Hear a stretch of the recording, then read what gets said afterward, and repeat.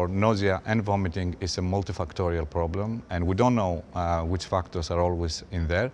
We need to start evaluating the patients, identifying the risk, um, and prescribing antiemetics based on that particular risk beyond just the antiemetics that are directly linked with uh, managing chemotherapy uh, related problems. Let's say, for example, that we have um, uh, a patient with uh, breast cancer uh, who is receiving um, highly emetogenic, uh, chemotherapy, cyclophosphamide and adriamycin.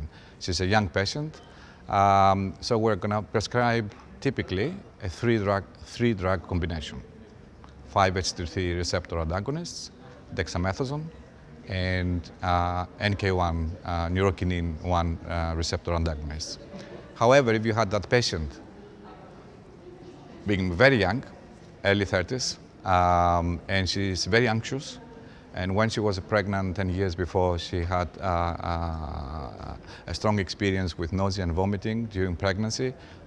That puts her in much higher risk. So we need to support this patient beyond the standard guidelines of three drug combinations. And because she's been anxious, we probably we need to add um, an anti-anxiety drug, such as lorazepam, uh, or olanzapine if she has a lot of nausea uh, experience and so on. So we need to think about what are the different factors and add something else uh, in addition to the standard three drug combination. We've gone far uh, over the past 20 years. We actually made a big difference in terms of the patient symptom experience related to chemotherapy vomiting. Vomiting has been almost eliminated. Uh, but we haven't done enough good job for uh, the management of nausea, and that's where we're focusing now uh, and in the future, and that's why we call it that nausea is the new black.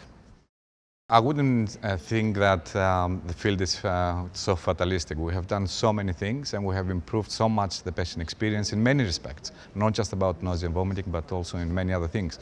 We just, there are some areas that we can do better. And um, yes, a lot of these drugs that we give, they have also their own side effects. And it's an issue of negotiating with the patients and actually making sure that they understand the implications and make a choice themselves about what they want to, to, to receive. For example, olanzapine, uh, the antipsychotic that I mentioned, uh, has as side effect sedation.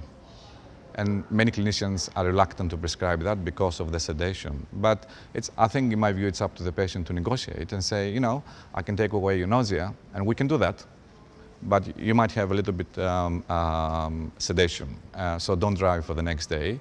Or, and the patients can decide whether this is for them or not and whether they want to have a little bit of uh, nausea unmanaged or manage the nausea and have a bit of sedation. So it's, it's uh, I guess, uh, balancing things a little bit better and uh, involving the patients in the decision making.